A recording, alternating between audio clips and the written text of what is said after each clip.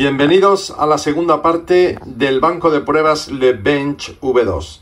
Algunas cosillas que me dejé en el tintero y que quiero hablar de ellas. Aquí tengo un, un coche de Slotty del grupo C que lo tengo en el banco y quería comentaros, lo tengo conectado y bueno, lo he, lo he instalado en la tablet y quería comentaros lo siguiente, eh, un par de cosillas. Aquí arriba, a la derecha, algo que no hablé, hay aquí un menú ¿vale? Los tres puntitos, tres rayitas, es un menú que se despliega y nos encontramos los ajustes del bench de la máquina y los ajustes de la aplicación.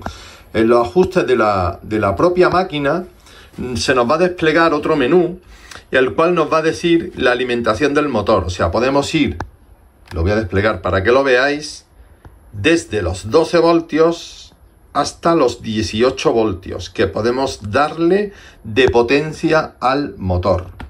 Luego tenemos el tipo de motor, el que usamos normalmente en el slot es de tres polos.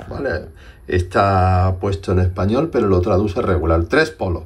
Podemos poner de tres polos o de cinco polos. Normalmente es de tres polos. Para el que no lo sepa, los polos son los bobinados que lleva el motor. En nuestro caso, en el slot, por lo menos los que yo uso, eh, si no me equivoco, son de tres. ¿Vale? Y luego el programa de inicio, que es como inicia la, la, máquina, el banco de pruebas, cómo inicia. Yo lo tengo en manual, ¿vale? Luego tenemos ajustes de la aplicación. Nos vamos a los ajustes de la aplicación. En los ajustes de la aplicación tenemos el idioma, que lo seleccionamos, en este caso el español, pero aquí tenéis un montón de idiomas, ¿vale? Lo dejamos en español y la identificación que la tengo desactivada, que la podéis activar, que es que os va a pedir pues bueno, que seáis vosotros los que estéis conectados, ¿vale?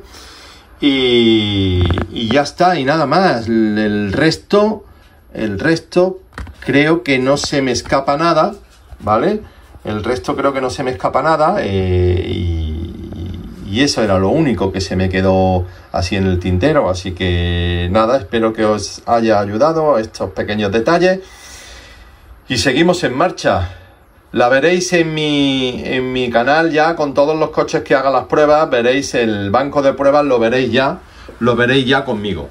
Veréis eh, mejorando los coches, afinando, mejorando su motor y, y veréis el buen resultado que da. Bueno chicos, nos vemos en el siguiente vídeo que promete. Saludos.